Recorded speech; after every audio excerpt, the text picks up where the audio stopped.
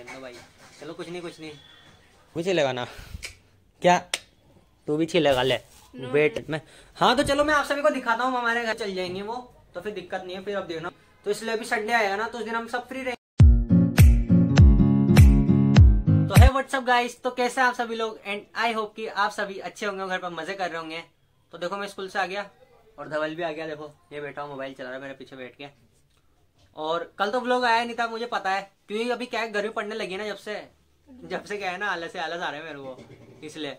और कल तो भयंकर मतलब ऐसा लग रहा था बॉडी पेन हो रहा हो, लेकिन हो नहीं रहा था। वो बस रात में सो के उठा ना, फिर ठीक लग रहा।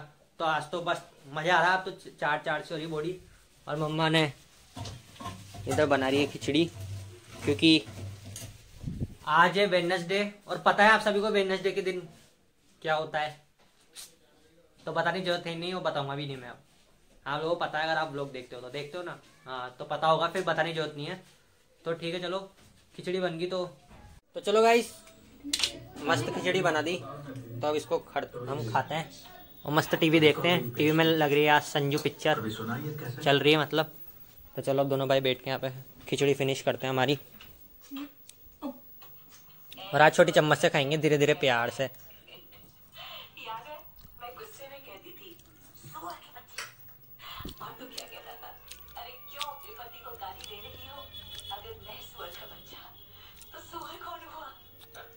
हम्म?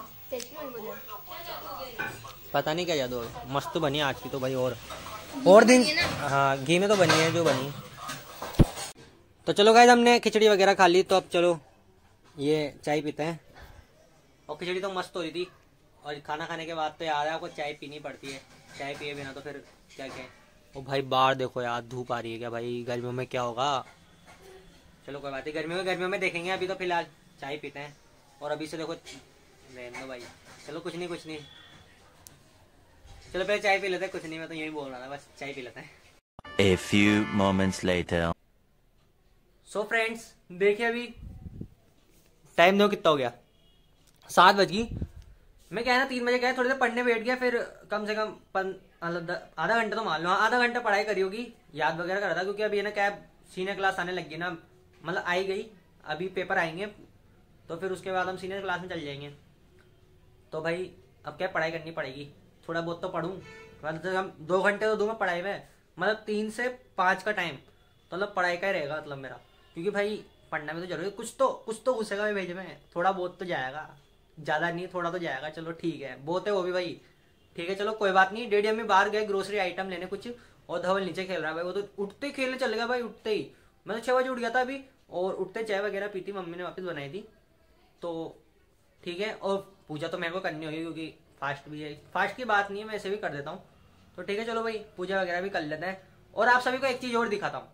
चलो, रुक जाओ, पहले पूजा कर देता हूँ, फिर दिखाता हूँ, मैं ऐसे नहीं दिखाऊँगा, पहले पूजा कर देने दो, फिर दिखाता हूँ मैं आप सभी को, क्योंकि हमारे क्या है ना फर्नीचर आ गया। चलो, बता देता हूँ, पहले बस बता देता हूँ। क्या है हमारे फर्नीचर आ गया। तो वो कल ही आ गया था। ब्लॉग नहीं बनाया, आलस की वजह से।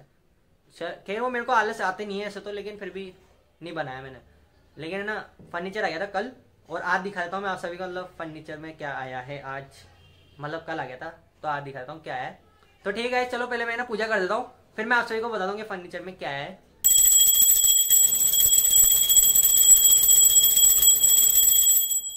तो चलिए गाइस देखिए मैंने पूजा वगैरह कर दी मस्त, और धवल भी आ गया ऊपर और रेडियम में अभी नहीं आए और टाइम देखो कितना हो गया भाई। आठ आठ बजने वाली है दस मिनट में। हाँ तो चलो मैं आप सभी को दिखाता हूँ हमारे घर में फर्नीचर क्या क्या है। तो पहले मैं आपको दिखाता हूँ हमारे घर में क्या है? हमारे घर में आया पहले एक ये बेड ये वाला दीवाना है, मस्त एक और। ये देखो भाई। ठीक है ना? क्योंकि क्या है ना हमारे के बाहर सामान फैले रहते थे ना तो क्या इसके अंदर भी चल जाएँगे वो? तो फिर दिक्कत नहीं है, फिर अब देखना, मकान और खुला खुला लगेगा। और एक चीज़ और आई है, वो है ये ड्रेसिंग बहुत अच्छी डिज़ाइन बनवाई है इस बार एडी ने इसकी। मतलब सबसे हटके बनवाई है, देखो, ये और ये भी खुल जाता है। अंदर बहुत स्पेस है इसके अंदर भाई।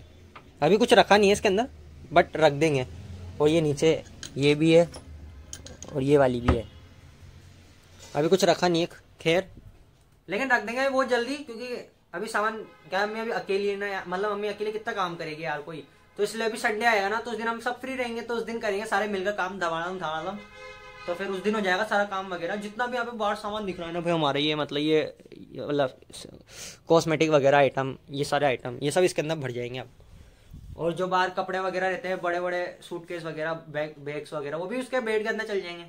तो ठीक है मतलब हो- जाएगा लो सारा काम। तो ठीक है। तो चलो गाइज़ एक काम करते हैं हम लोग ने मटर छील लेते हैं बैठे बैठे कर भी क्या रहे कुछ तो करेंगे। टिंग टिंग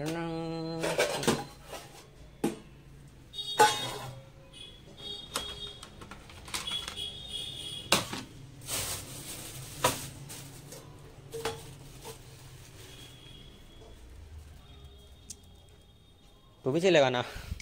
क्या? तू भी छिलेगा ले। वेट मुझे उधर की लाइट बंद कर जाता हूँ ना मैं। नहीं तो बैठ जाते हैं दोनों ही।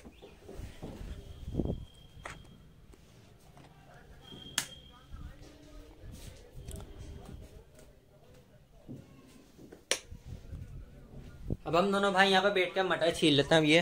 कटोरा भर देंगे उन सॉस तो ये अपन। देखते कितनी छीलते हैं अभी हम दोनों मिलकर। सो गाइस देखिए, हम दोनों मटर छीलने बैठे थे, उतने पे डैडी अम्मी भी आ गए थे, लेकिन वो वापस चले गए क्योंकि उनका डॉक्टर को दिखाना था। तो हम दोनों कहना ही है सामान वगैरह लेके आए पूरा, ये कट्टा में उठा के लाया था। इसलिए थोड़ी सांस फूली फूली सी लग रही होगी। कहीं ज़्यादा भारी नहीं था, लेकिन फिर भी नीचे से ऊपर आया तो इसलिए। चलो मटर छील देते हैं अब। गाइस भाई, मम्मी आ गई। और हमने बहुत सारी मटर छील ली। और डैडी भी आ गए। फ़ोन साइड में रख।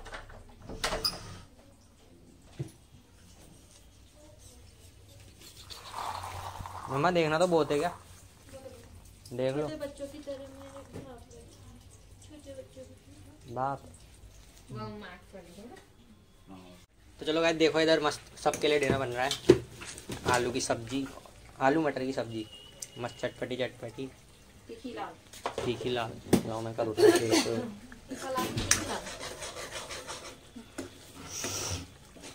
मस्त कलर आ रहा है